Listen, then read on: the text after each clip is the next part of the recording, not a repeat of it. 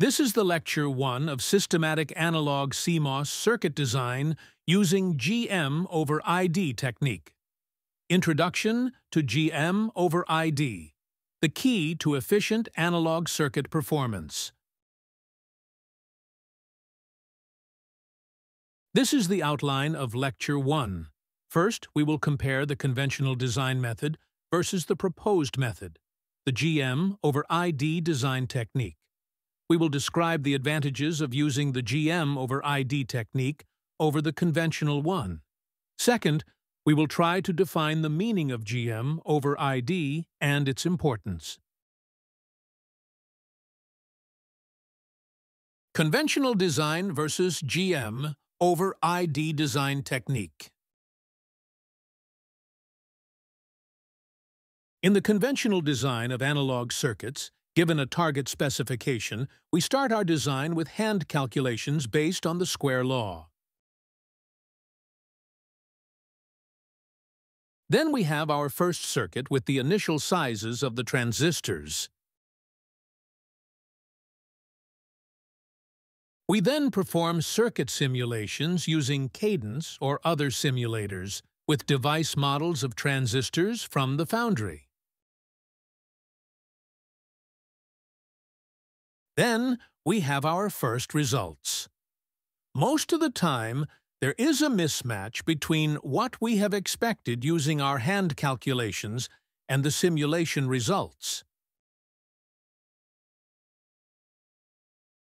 The main problem is that the square law doesn't accurately reflect how devices really behave, especially with advanced process nodes like 22 nanometers, 16 nanometers, or 10 nanometers. At these tiny scales, second-order effects, like channel length modulation, CLM, and drain-induced barrier lowering, DIBL, become significant. The square law can't account for those. It also doesn't work well when you need to model transistors operating in moderate or weak inversion, which we'll discuss later in this lecture. Because of all these limitations, you're stuck running endless simulations, constantly adjusting transistor sizes just to meet your specifications. That's a headache in the industry, especially when there's pressure to get products to market quickly. To solve the issue we just described, the GM over ID design methodology was developed In this design methodology, instead of using the square law, we design using a lookup table. This lookup table provides a very accurate behavior of the transistor device. In this methodology, our simulation results are very close to what we have designed, primarily because all the second-order effects such as CLM and DIBL, are captured in the lookup table. Also, all the inversion levels, moderate, weak, and strong, are captured in the lookup table. In this section, we will discuss the meaning of the GM over ID parameter. Consider the NMOS and its cross-section displayed on the right side of the slide. An NMOS transistor enters saturation mode when the gate-to-source voltage, VGS, exceeds the threshold voltage, VTH, and the drain-to-source voltage, VDS, is at least equal to VGS minus VTH. The difference, VGS minus VTH, is referred to as the overdrive voltage, VOV. The square law equation for drain current, ID, is valid only when the NMOS is operating in saturation mode. Let's break this down. Transconductance, or GM, shows how effectively a transistor converts an input voltage into output current. It's simply the derivative of the drain current with respect to VGS. Put simply, GM represents the transistor's gain. A higher GM means better performance. When the transistor is operating in saturation, GM equals the square root of 2 times electron mobility times the gate oxide capacitance, COX, times the width-to-length ratio, W over L, times the drain current, ID. While this formula might not be exact for the most advanced devices, it gets the main point across. You can choose any combination of W, L, and ID to reach a desired GM. There are many possibilities. Suppose you've chosen your GM. Now, as a designer, you want two things, to use as little current, ID, as possible, and to make the transistor as small as you can, both in width, W, and length, L. For length, it's straightforward. Simply choose the minimum allowed by your process. But with width and current, you're limited. You can reduce W or lower ID, but you can't do both at once. The key point is, the product of W and ID must always remain constant. In order to think systematically about these trade-offs, two figures of merit are introduced, GM over ID and GM over W. First, look at the GM over ID. On the graph, as we vary the overdrive voltage VOV from negative 0.4 to 0.8 volts, you can see that the real device, the blue curve, doesn't align with the square law, which is the green curve. Why?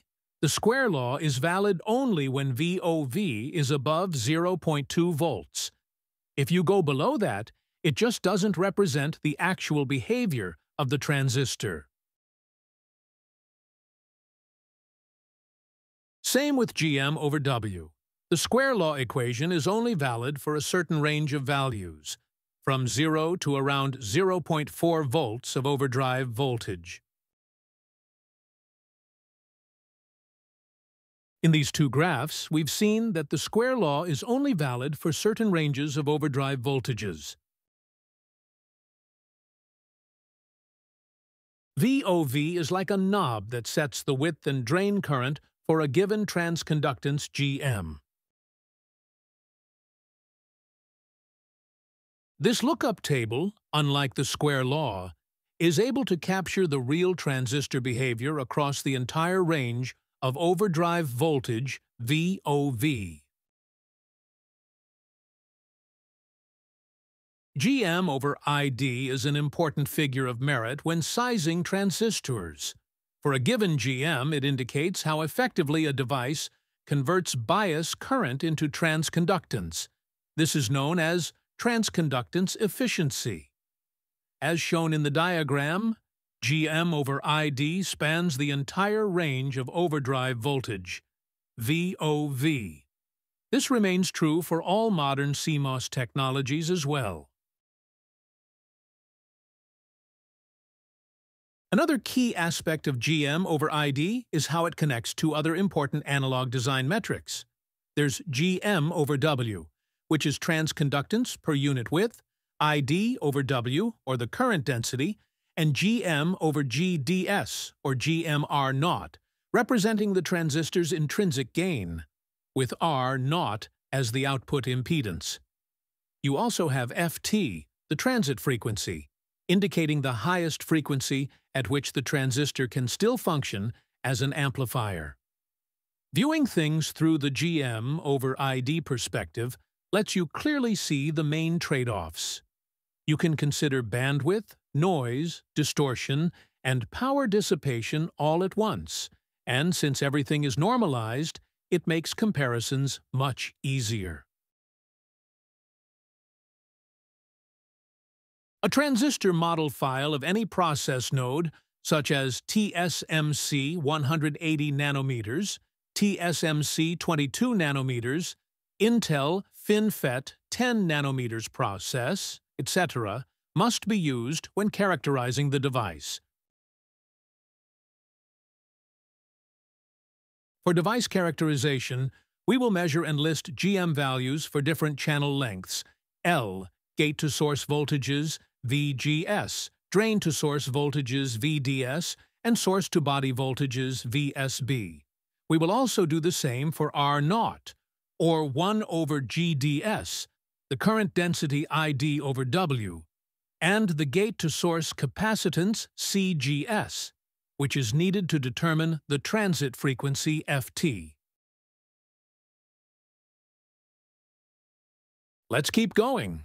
The transistor's GM over ID ratio changes based on its inversion level. First up is strong inversion. Looking at the blue curve, you'll notice strong inversion starts when GM over ID falls below 12. In this region, the classic square law is still accurate, so you can use it to predict the transistor's behavior. Strong inversion means there's a large amount of inversion charge under the gate. The channel is full. With more charge, the transistor can deliver a higher drain current. This extra current lets you charge load capacitance faster, which is ideal for high-speed circuits. The downside is that more current also leads to greater power consumption. You'll see the strong inversion region located between the two dashed lines on the graph. The weak inversion. Weak inversion happens when a transistor carries the smallest possible current. Weak inversion refers to the operating region of a MOSFET when its gate-to-source voltage VGS is below the threshold, voltage VTH. In formulas, it's shown as 1 over N times UT, where UT is the thermal voltage and N is the sub-threshold factor. At such low current, charging the load capacitance takes more time, so this method isn't great if you need speed. The benefit? Lower current means lower power consumption. You'll find this operating region between the two dashed lines on the graph. The moderate inversion. Moderate inversion sits squarely between strong and weak inversion. In this range, GM per ID falls between 12 and 18, shown between those two dashed lines. Honestly, it's almost impossible to describe this region with math. Many researchers have tried to solve it. That's why we take a different approach. Rather than getting stuck in equations, we use a graphical lookup table to design the circuit. It simply works better for this challenging region. Here's the graph showing all the inversion levels of the transistors. As a summary of this section, here are the advantages of using the GM over ID technique when developing the analog circuit. First, Device model and lookup table matches across the entire range of overdrive voltage. Second, without being math-heavy, the lookup table can accurately describe the behavior of the transistor across all ranges of VOV, and the trade-off from other figures of merit can be easily observed. Third, we can eliminate the need for VOV as the design parameter. Instead, we use the GM over ID that relates to all other figures of merit. End of the lecture.